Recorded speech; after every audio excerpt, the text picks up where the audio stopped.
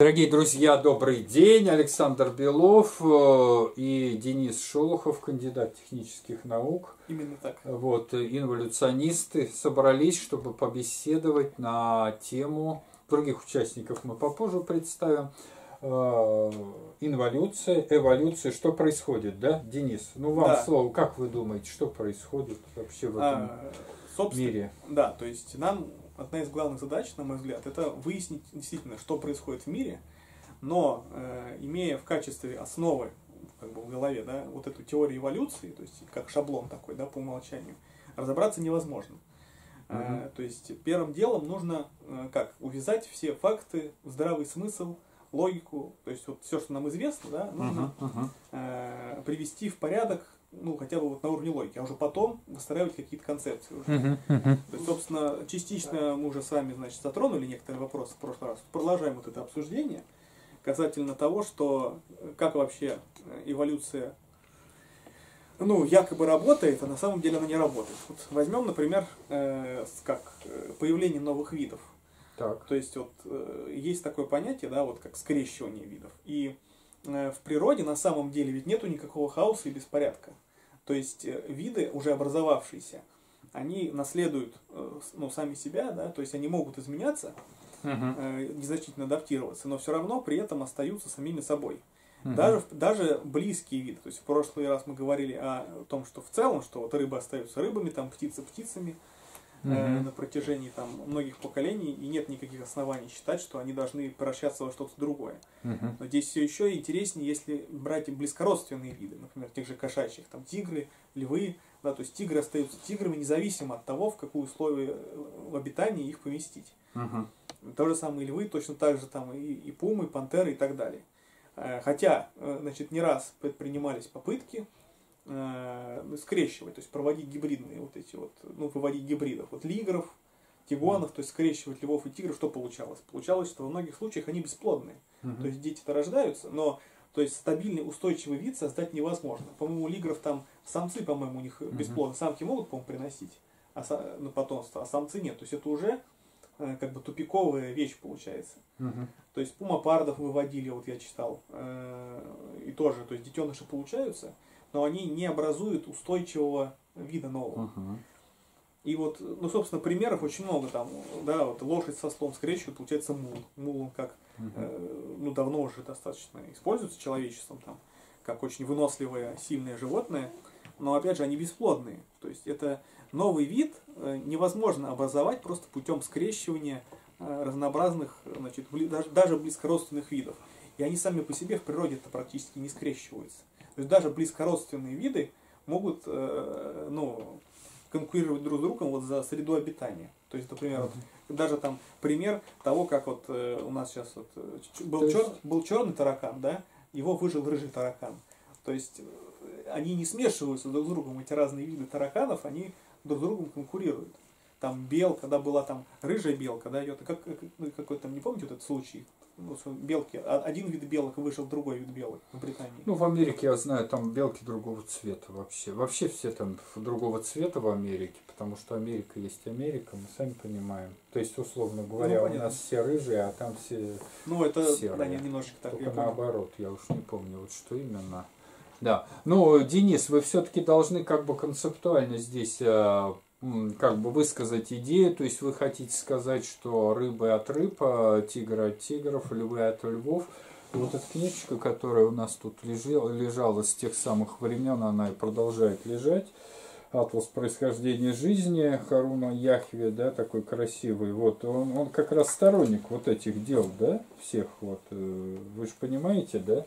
Можете вы взять его себе. Да, но здесь немножечко, здесь немножечко о другом речь. Здесь речь о том, что изучение останков, а, как останков окаменевших, так и того, что там в янтаре обнаруживают, Мгм. начиная с э, там, насекомых, Сюда, я сяду сюда, начиная с насекомых заканчивая разнообразными а, там, рыбами, птицами, растениями, то есть животными. Мгм. Здесь вот огромное количество, то есть они идут, прям там сельдь, форель, сначала рыбы, там хвост форели, Мгм. там речной окунь, то есть прям вот идут э, ну, изу- изучение и рассмотрение вот этих окаменелых останков и сравнение их с современным. Ну и, Мгм. то есть берутся официальные датировки эволюционисты, то есть ничего не выдумывается. То есть вот эволюционисты говорят, вот найдены останки, там столько-то миллионов лет. Ну, то есть А. вы разделяете все-таки... Не, не, мы говорим, нет, я рассказываю, что в этой книжке для зрителей, что, Мгм. что там. И вот по всем, по насекомым, там, по листьям растений, то есть опять они берут официальную датировку, да, там 37 миллионов лет, там лист тополя, а, ну вот, а сегодня он какой, вот, ну, собственно, такой же.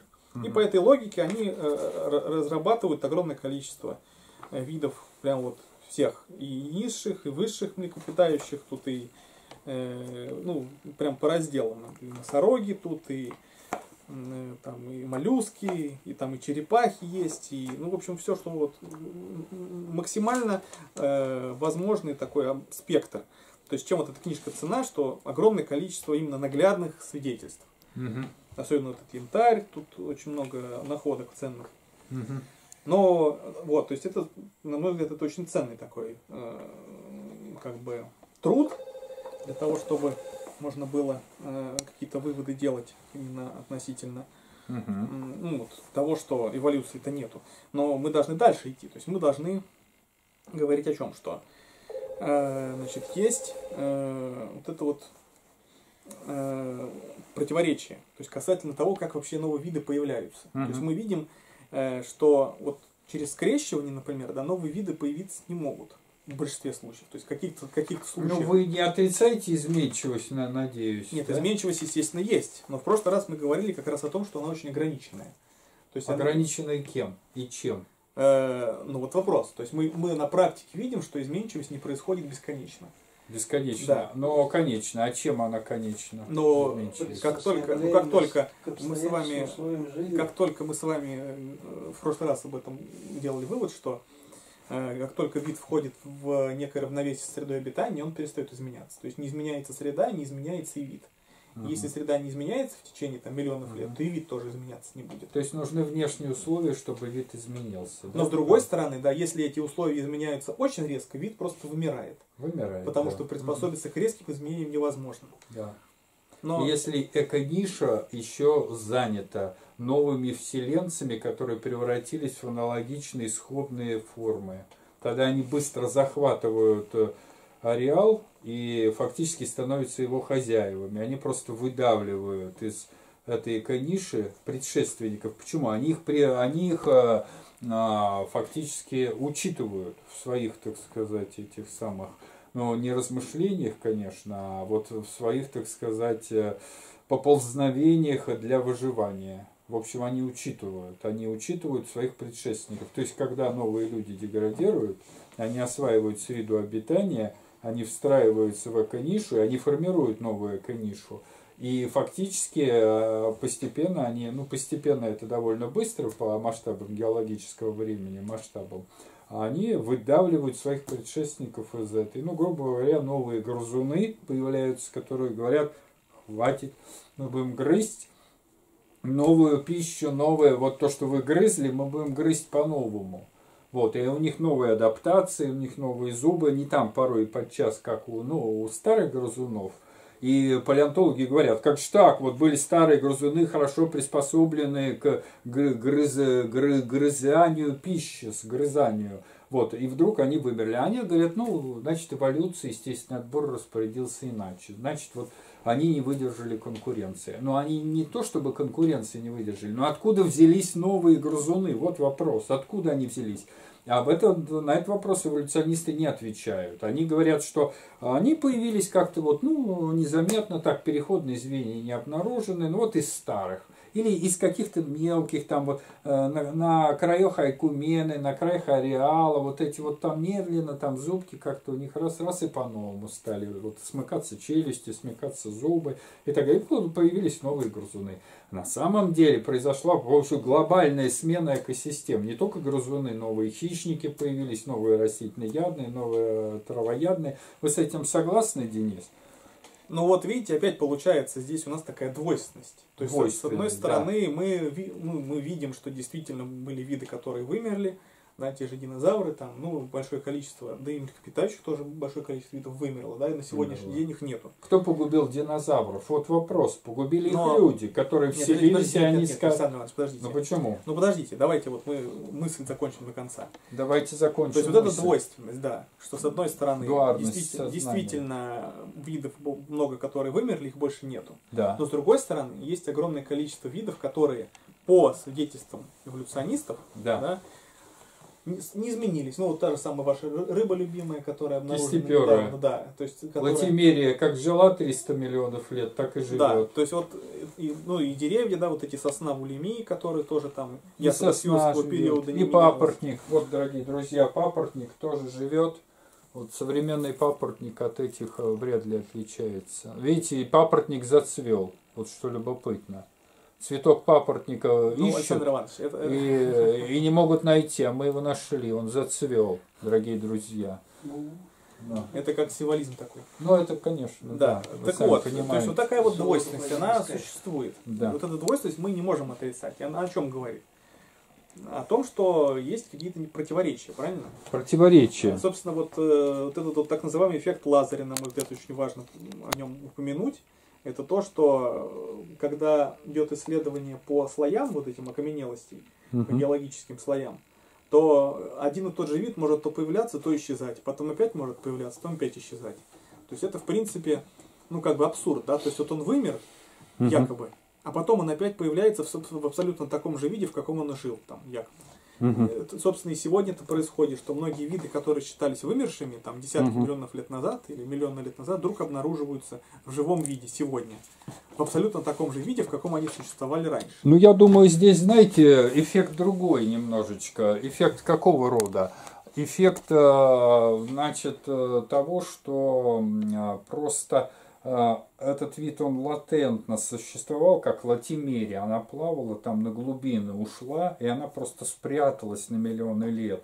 И фактически не изменялась. И, конечно, если малое число особей, маленькая популяция, она в отдельном географическом регионе существует, то окаменелости не сохраняются. Окаменелости сохраняются, когда вид огромный ареал покрывает и длительное время существует. Тогда окаменелости сохраняются. Поэтому эффект Лазаря, он, конечно, объясняется тем, не тем, что он вдруг исчез и вновь появился, а в том, что он существовал а, где-то в отдельном, так сказать, взятом регионе. а- Но нет захоронений. То есть не обнаружены- Захоронений просто нет, потому что сами осадочные породы и где они формируются, осадки это же в основном и морские, и озерные, и речные фации есть, ну, ландшафты, вот эти захоронения. И фактически, конечно, это редкая удача, когда попадает именно тот вид э, в тот э, с- собственный как бы ландшафт захоронения, так скажем. Да, Вот но так это популярно. автоматически ставит под вопрос всю вот эту стройную концепцию, которую нам рисуют, происхождение видов друг от друга, что вот они по слоям, потому что как у людей вот обычно, да, в голове какая вот, ну, после изучения эволюционистских там каких-то статей, какая картина в голове, что вот наша система, планета, да, это прям вот физиологическая, она прям вот как книжечка, то есть вот один слой там жили такие-то, значит, Нет, по, ну, по- миллионам почему? лет, другой Дарвин- слой такие-то, писал, что из такие-то. книги вырвано еще Лаэль, его учитель Чарльз Лаэль, писал, что из книги вырваны огромные страницы палеонтологической летописи, и Ефремов тоже об этом писал, что, а, в общем, мы имеем, так сказать, фрагменты, лишь кусочки, а от некоторых страниц и даже глав ничего не осталось. Поэтому, собственно, мы можем только домысливать. Но эти домыслы, как бы эволюционисты игра в одни ворота идет. Вот что печально. То есть они руководствуются идеей, которые превратили уже в религиозную догму, что а, все были примитивные раньше там, и все мы произошли от каких-то ну, Простейших. грубо говоря, червей, да, которые ползали там до Кембрии, и, в общем, и, и этой идеей руководствуются. То есть они, в общем-то, не вникают в механизмы и не пытаются как бы изучать факты, которые противоречат даже вот этой идее.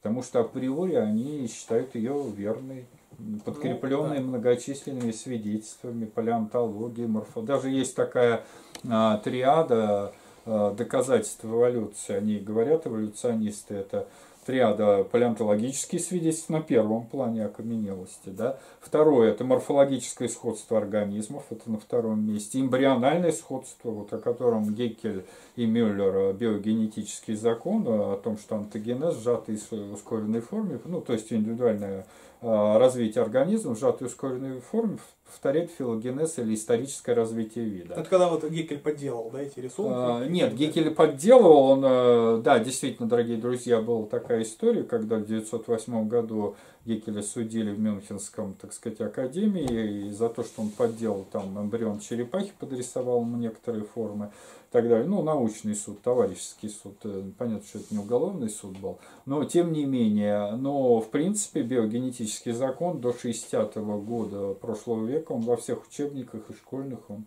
э, ну, вы сами помните, антогенез в сжатой ускоренной форме повторяет а, филогенез, историческое развитие вида. Якобы, якобы. Повторяет. Да, но Северцев, Северцев, вот, кстати, наш соотечественник договорился до того, что как раз и наоборот в своих построениях, что порой подчас а, историческое развитие видов повторяет филогенез. То есть, наоборот, историческое развитие онтогенез, то есть индивидуальное развитие. То есть, вот эта вот казуистика, это поиск как бы правды там, где ее нет, приводит к парадоксам, которые трудно вообще переваривать э, эволюционное сознание может. Письменным парадоксом.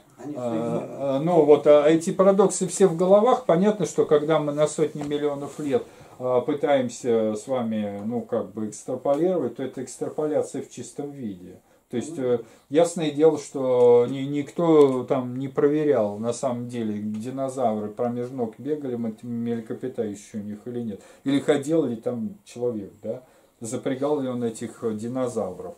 И говорят, вот, ну, ездили там некоторые, орто, ну, не ортодоксы, говорят, на динозаврах очень удобно ездить, Какой там такое седловина есть, как у коней, и так можно запрягать. Соответствовал как человек, пропорции. Так, но Человека де, и динозавра какие были в то время? Ну, Нет, дело, дело в том, что не учитывается что? Не учитывается, что э, динозавр, у него маленький мозг априори по отношению к такому большому. Ну, вот, ну, допустим, у разных, так сказать, э, динозавров, ну там порой подчас тушка тела 4 метра, ну масса огромная, несколько тонн и, э, в общем, с грецкий орех.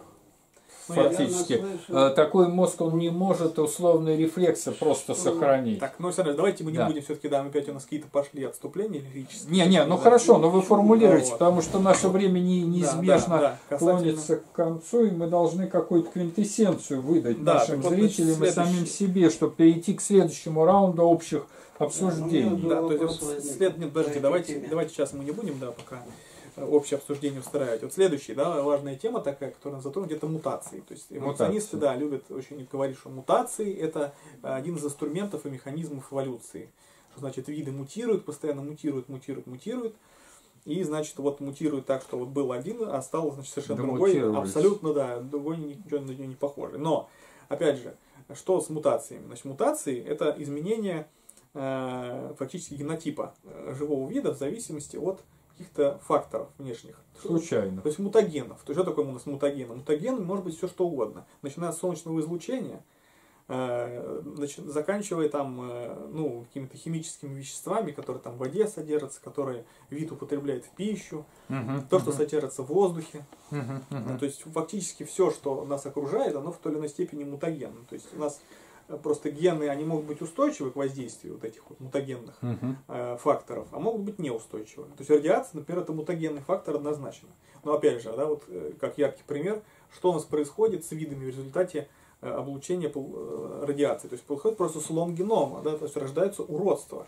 То есть не жизнеспособный. Абсолютно не жизнеспособный, да. То есть это не приводит к формированию каких-то новых видов принципиально, это просто приводит к появлению больных совершенно особей, ну, как бы, которые обречены, так сказать, на болезни и гибель, да.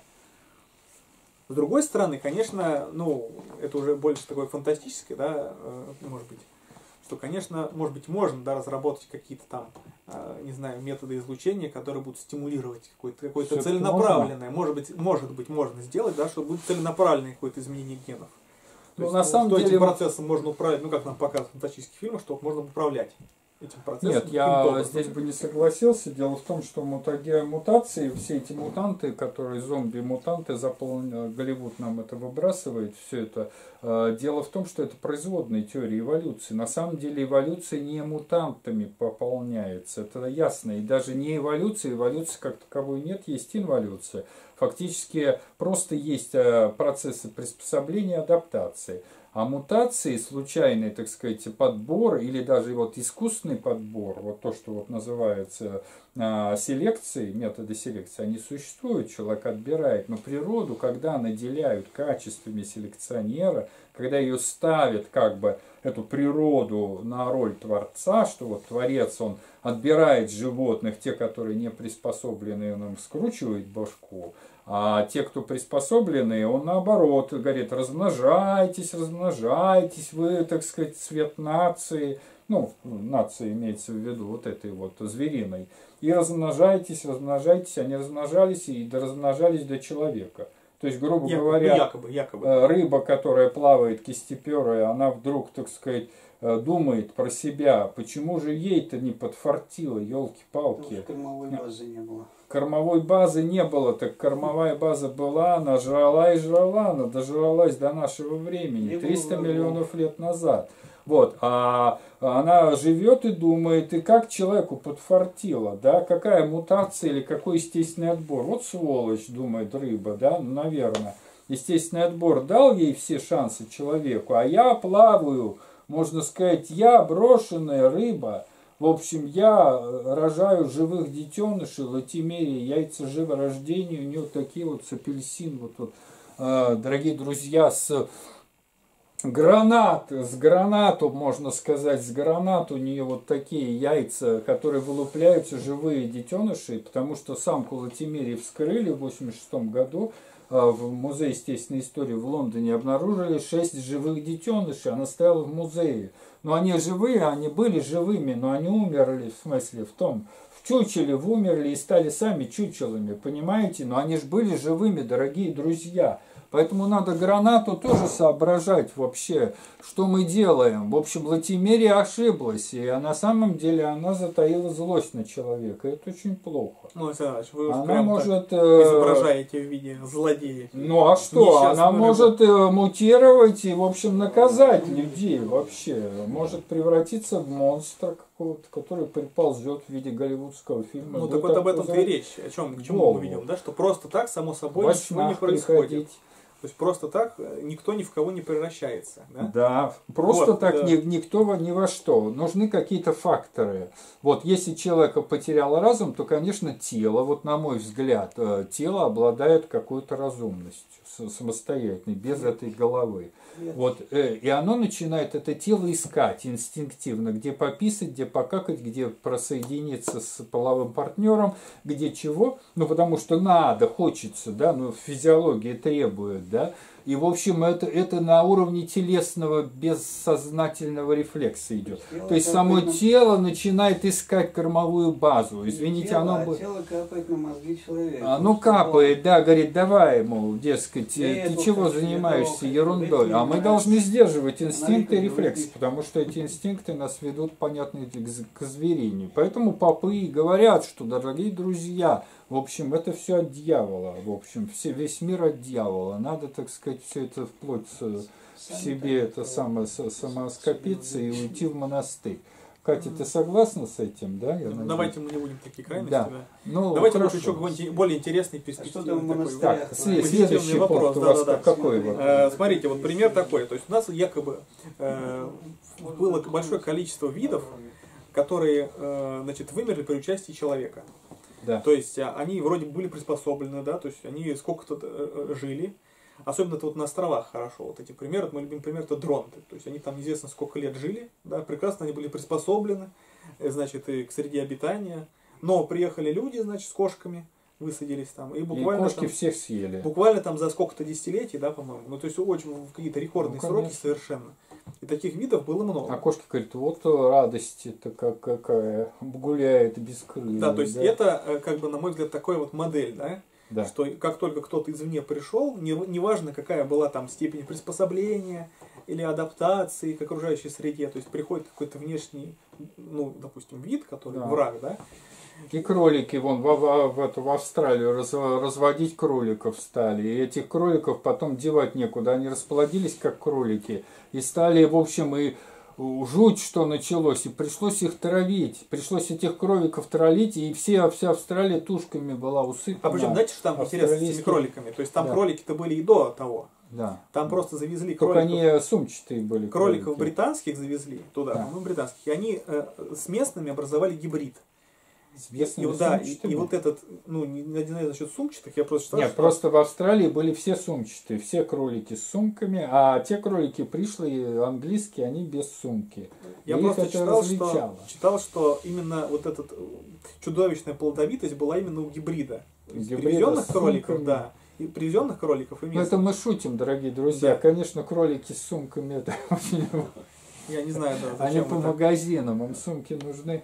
В общем, ну, в смысле имеется в виду, просто в Австралии очень похожая фауна млекопитающих вообще. Но все она уникальная во многом. Да, но их отличает именно наличие сумки, когда эмбрион дозревает. Например, у эмбриона кенгуру, в общем, ну, мамочка там вылизывает себе пути вот эти. Эмбрион еще 12 дней, можете представить, дорогие друзья, 12 дней он по этой вылизанной дорожке лезет, у него специальные такие коготки, вот лезет в эту сумку самостоятельно. То есть 12 дней живое существо, как оно может вообще двигаться.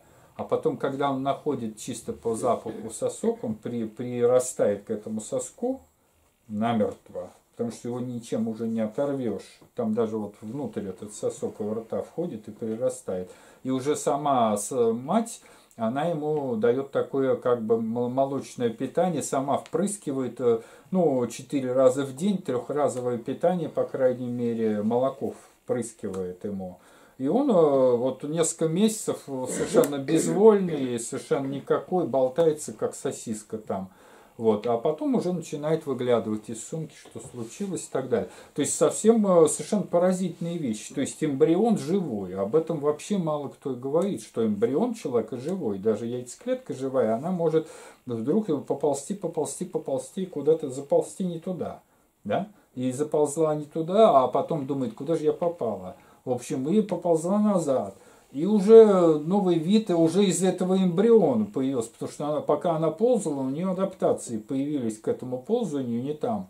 И, в общем, когда она вылезла, она совсем другая. То есть уже не человек, а черти что получился. Вот такая вот история. То есть приспосабливаются не только взрослые, дорогие друзья, но и эмбрионы. И это вот эволюционисты никак не хотят. Вот вы такими глазами смотрите, вы, наверное, это не знали, да? Почему? Да? А, Я знали? знаю, я это, если поверить, Блаватской слышали Елена Петровна. А, не, не, про Она же Блаватскую не тогда сказала, что в мире нет немыслящих атомов. Вот вы этому вы поверите? Да. Я, Ну хорошо. верю. Э, Денис, ну завершайте свой Да. тот самый спич или как он, в общем. Ну, просто, да, видите, у нас не получается плавного перехода от вопроса, потому что у нас... нет, нет, да, давайте, давайте, вы следующий какой-то. Нет, а, ну, след- ну, давайте это последний вопрос, да, Да. такой вот важный. То есть, собственно, откуда, ну, э, самое главное, на что нам нужно ответить, неважно, эволюционистам, инволюционистам, креационистам и так Да. далее, это откуда вообще жизнь изначально появилась. То есть, была, или, или была ли она всегда, или когда-то, значит, не было жизни вообще никакой, да, а потом, значит, она как-то все-таки образовалась. То есть, как-то все А ваша версия? получились.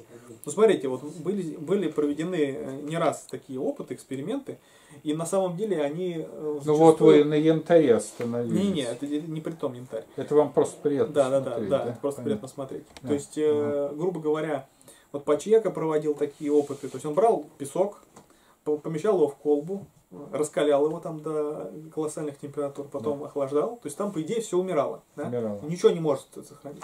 Ну какой-то один пролез. Нет, то есть через какое-то время, то есть через несколько дней э, значит, начиналось движение.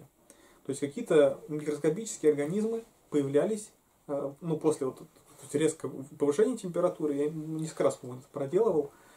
Ну, А, тихоходки, они то есть- выдерживают э, и Нет, нагревание. Нет, нет, нет, там все высушивание. умирало, то есть э, э, смысл в чем? Даже еще Луи Пастер говорил, ну, то есть не тоже говорил, а упоминал, просто это не рас- распространяется, что после пастеризации, хотя вроде бы там все умирает в молоке, да, но через какое-то время, несмотря на герметичность, все равно могут снова появляться бактерии там. Ну, потому что они в молоко встроены, допустим. Нет, ну дело в том, что они в молоко встроены, а в том, что при определенных условиях может происходить в определенных э, обстоятельствах зарождение, как и самозарождение жизни. Самозарождение. Да. же. И вы сторонник самозарождения. Но оно как бы не самозарождение. То есть Так эволюционисты есть- тоже самозарождение. Ну, оно, понимаете, слово не очень хорошее. То есть все зависит от каких-то условий, которых мы не знаем.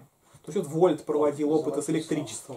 Ну вот То есть с когда это... электричеством э, тоже... Э, Когда в- берут грязную рубаху и мышей, вернее, это и грязную, и это, как его, э, крупу, и за- запирают в ящик, и там мыши заводятся. Вот это опыты по, по, по самозарождению в 18-19 веке породили. Грязную рубаху крупой засыпают, и в ящик запирают, и вдруг там мыши. Вот это говорит, что вот Ну, они... ящик железный. Мыши, нет, они не жили, а ящик Нет, пустой был. ящик. Ну, об этом не говорят, в общем. А так слушайте, это то же самое, да, когда берешь, допустим, какой-нибудь салат там, да, Салат, берешь его в кастрюлю, Ну, да. закрываешь, ставишь там на солнце, да, и через несколько месяцев открываешь, там все в червях. То есть откуда Но черви черви? были. Откуда? Но черви, видимо, были в салате, я так подозреваю.